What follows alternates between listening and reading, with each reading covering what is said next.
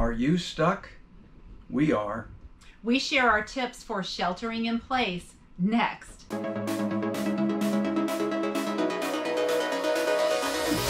Welcome to the channel. I'm Paul. This is Liz.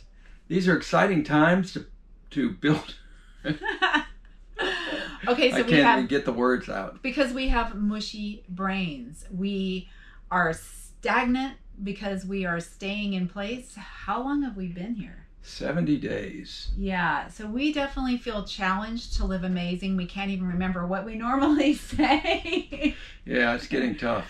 yeah, we typically move every two to three weeks. Paul and I have been on the road for a year and a half. And the reason why we chose the RV life was so that we could do what? so that we could travel. Yeah, Right. that's the whole purpose of this lifestyle is to see different places and and you know not spend a lot of time in one place. In fact, I was finding that when I first started out, I would go for three week stays at each park that I was at, and I found about three or four months in that I was ready to leave at about the two and a half week point. So I backed it down to a two week stays per park, and that seemed to work better. But yeah, like I said, we've been here for 70. and- oh my and gosh. So we're sheltering in place. We're actually not allowed to move. We could leave, but we can't go back. And all the campgrounds in the state we're in, we're in California, are closed for at least another week or two. We're trying to get to Oregon. That's closed until June 1. And originally they were closed until May and then May 15. And so we we think that, you know, we love the RV life, but we love the travel part of it. We find that energizes us to have all these new places to go. We feel like if we're stuck, you probably are too. Maybe you are sitting at home with a camper, maybe even a brand new camper in your driveway, and you can't take it anywhere because the campgrounds are closed, or in your state they're saying no travel. So, so we feel your pain, and so we have some we have some tips for you. Yeah, so let's get into them. Tip number one is use this time to your advantage.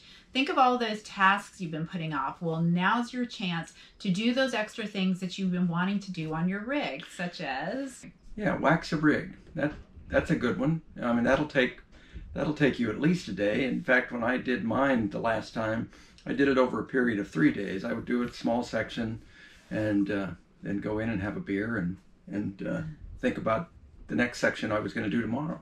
right, or go in and reorganize your rig. Maybe you've got some things that you've got to clean out or clean the interior. Yeah, maybe there's a, a repair that you've been wanting to get to. Maybe uh, maybe you're real energetic and you wanted to pull the wheels off and pack the wheel bearings or check the brakes.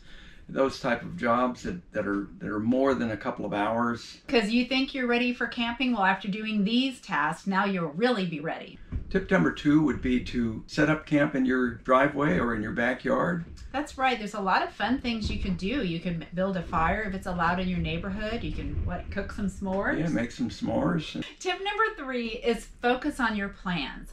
You will get to travel someday, and even though it's been for you a moving target, I assume, because that's how it's been for us. First, we thought we would be traveling in March, and then we thought April or May. Now it may not be until June.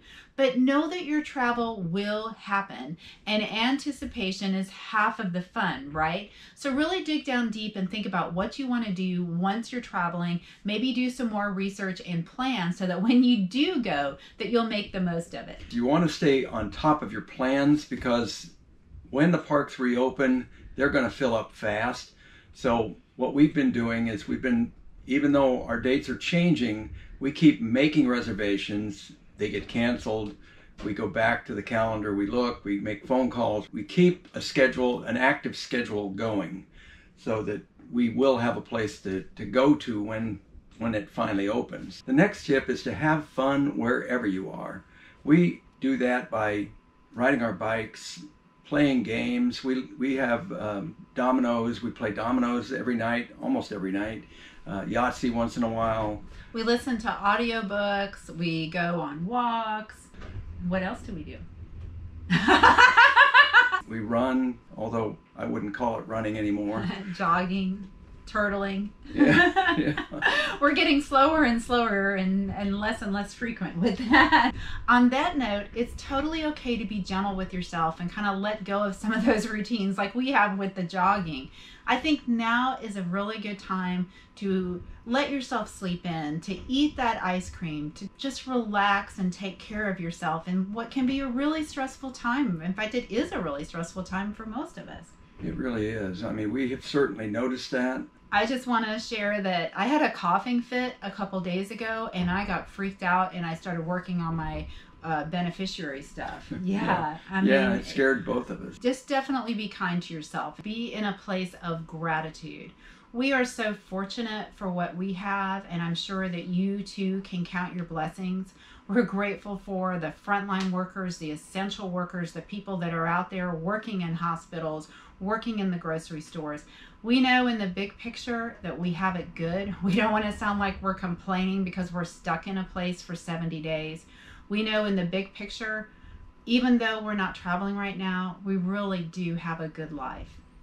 Yeah, we do. I mean, thank you to all the first responders out there and the essential workers. I mean, you guys and gals are doing just You're our heroes. you're you're the heroes of this of this whole pandemic mess that we're that we're all and experiencing. and everybody, the people driving the UPS truck, you know, uh, the people delivering the mail, we are so grateful for you. You you really are our, our heroes out there on the front line. And then I'll say, if you like this video, you'll love the next one, and you'll say, see you in the next video. You ready? so you're going to say What are your tips for sheltering in place? Let us know in the comments. If you like this video, you'll love the next one. See you See in the next next video.